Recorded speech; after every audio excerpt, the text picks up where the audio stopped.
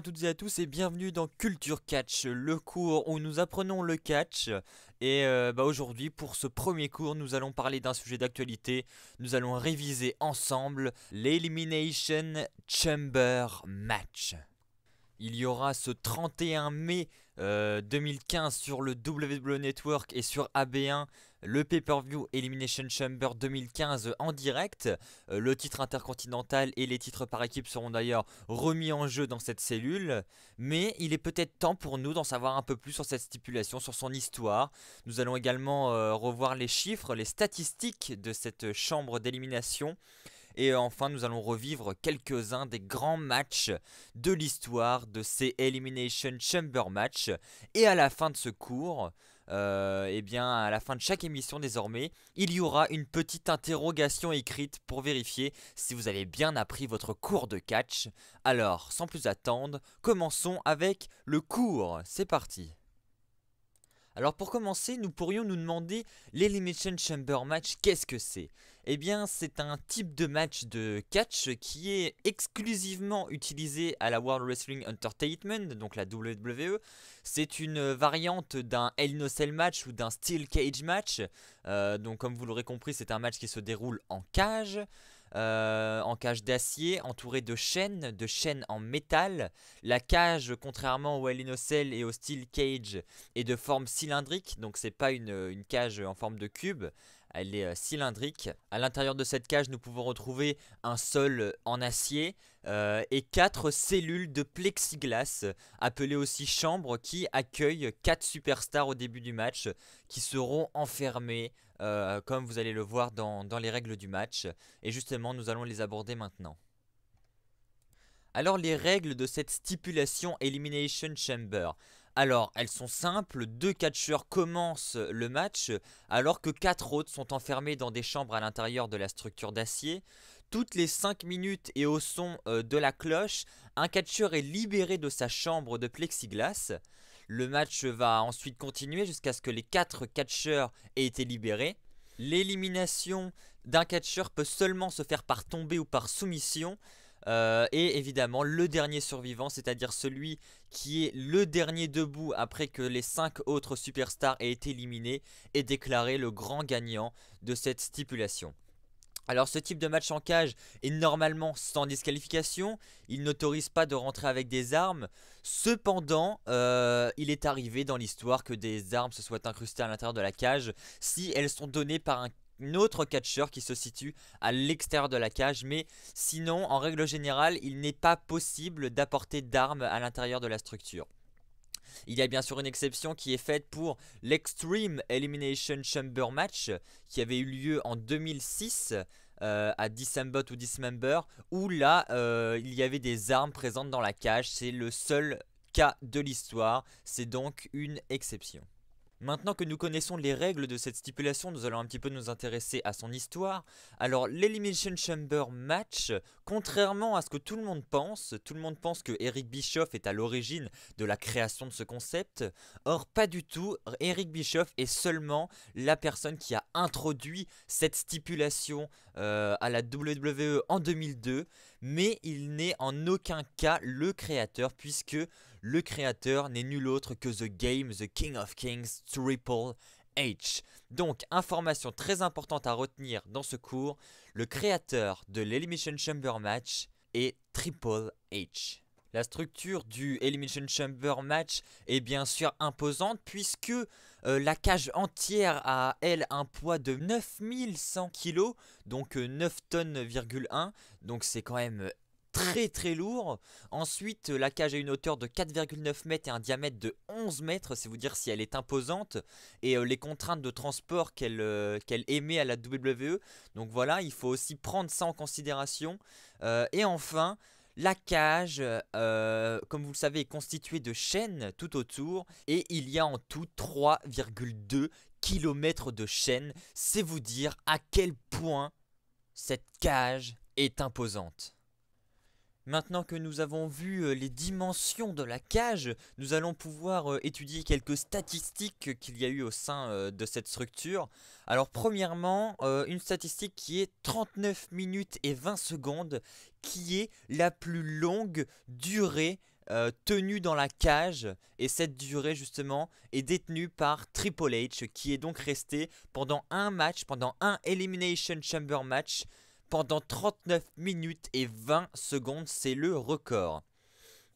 Ensuite, euh, on a Chris Jericho euh, avec le record numéro 8, puisque en effet Chris Jericho détient le nombre de participations dans un Elimination Chamber match. Il a participé à 8 reprises à cette stipulation.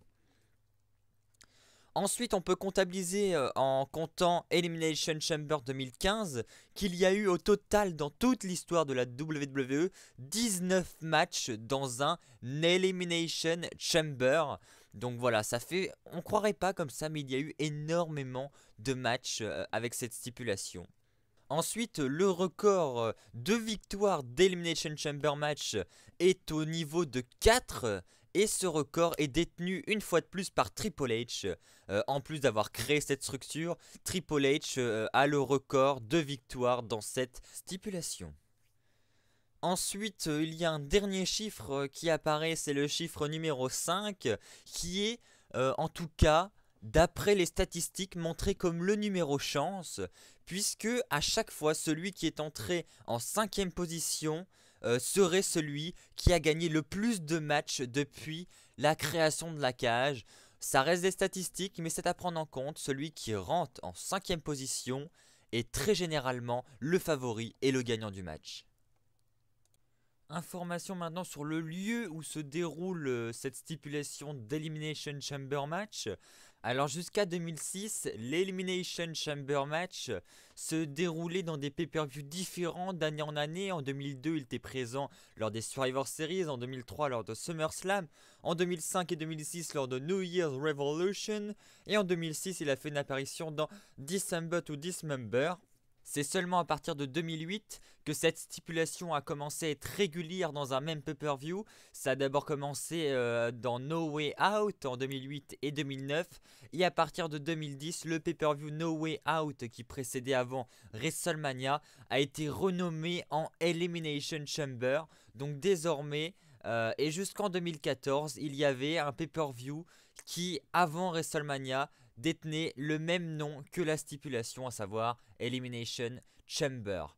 Aujourd'hui en 2015, le pay-per-view avait été supprimé du calendrier et il est aujourd'hui de retour euh, en ce mois de mai, le 31 mai 2015, pour euh, un pay-per-view exclusif au WWE Network, c'est-à-dire que seuls les abonnés du WWE Network peuvent consulter et regarder ce pay-per-view en direct.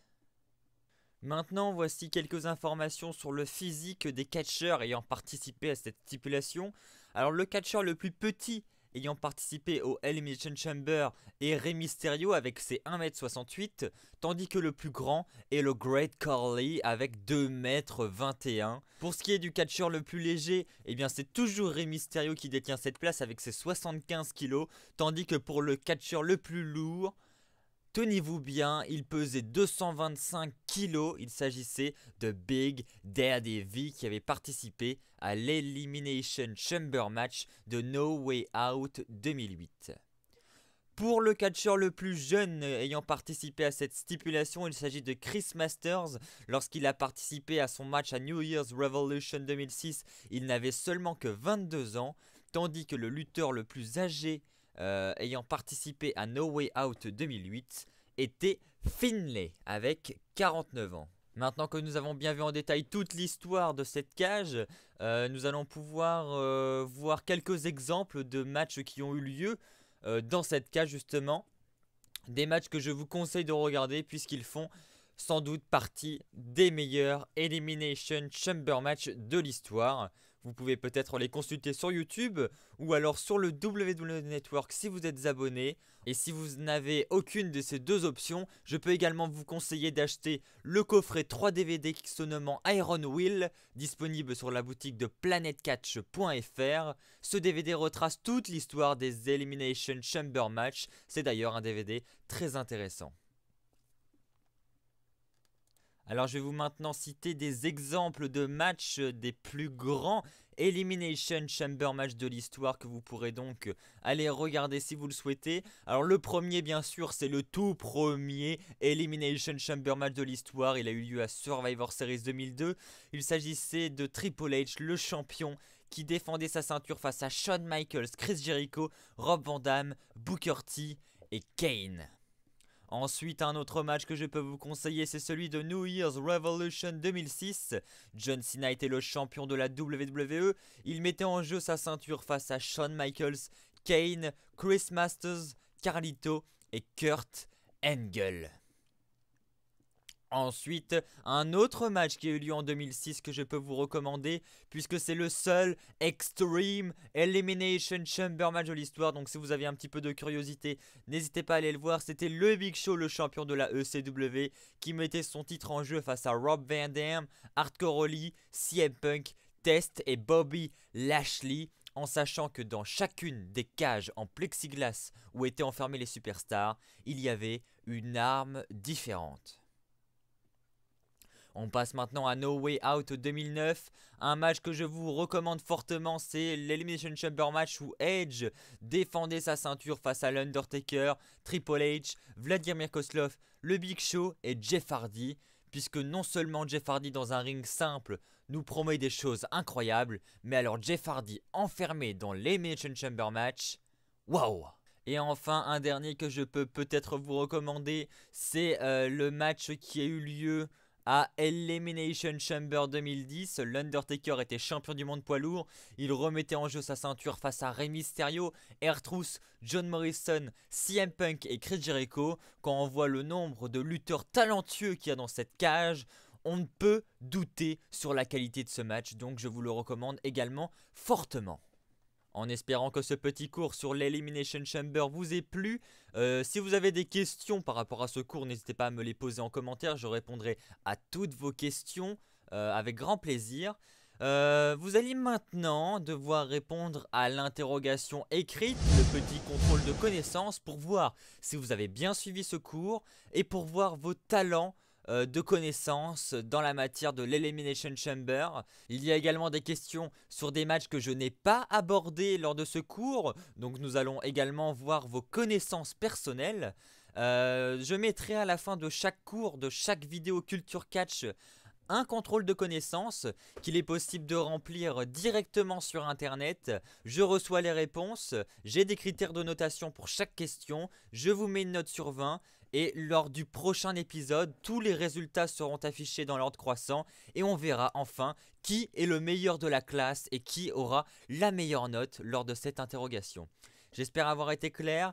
Euh, si je peux passer encore une information pour ce devoir, ce petit contrôle de connaissance, ne trichez pas, ça ne sert à rien.